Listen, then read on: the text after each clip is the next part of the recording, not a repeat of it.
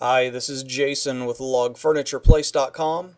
I'm going to give you a look today at a hickory bench with a back that we custom made uh, for the Nashville Bass Pro Shop store. Uh, the hickory bench was made out of hickory logs with the bark still attached. There's a side shot of the bench and the cushion that was on the bench. The back is angled just slightly and that was done using uh, steam bent hickory where we steam bent the logs to give a little bit of a uh, curve to the back. Made it very nice and comfortable. Uh, once the bench was all completed, we then finished it in a clear finish. We did a few of these and then a few other hickory benches without a back, and I'll be showing you those in another video.